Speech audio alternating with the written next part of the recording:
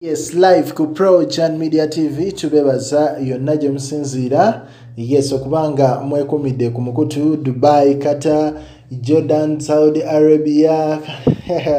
Yonna gye musinziira. Uh, christmas ennungi abantu munyumirwa ntu muli mu kimere festive season ekutte wansi ne waggulu eh? ffe tetubalinaako buzibu.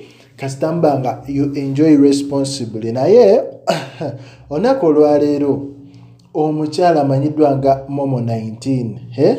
ne dax catel fena tumanyi nti baba bamaze okukola nika yaabwe emabegakaawo era ha, omukolo guno abagwatendi nga abantu baali bangi hmm?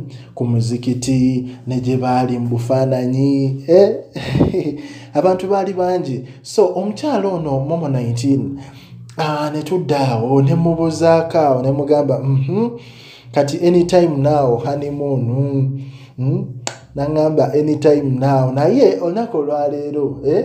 mbadde ndi awo nendaba momo 19 ng'engeri gye badizayinizeemu akafo ka honeymoon ebyaddala olabira ddala honeymoon ewedde emirimu eh?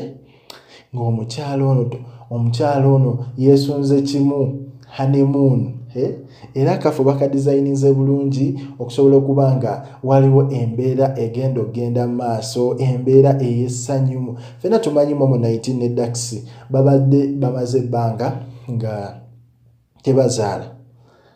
Yes olw'ensonga maybe tosobola kubanga okimanyi naye abantu baba ne principle zaabwe. Principle nga wonagamba nti wetumala okuwasa byonna nga bituukiridde mu butuufu bwabyo then kati awo tusobola olowooza ku byokukola ki ku byokuzaala era omukulu dax catel teyadisappointinga twamulaba yakyala era yakoze n'ennika era nga olunaku olwaleero ku christmas eyinza okuba hanemuunu yaabwe nga obufaananyi wobulaba nti buli omu yeesunze hanemuunu eno okusobola okuba nga yes babeera mu mbeera ey'essanyu eh? Ku pregen media tv ffe tukuwa updates ezigenda mu maaso mu ggwanga likinga commentinga subscribinge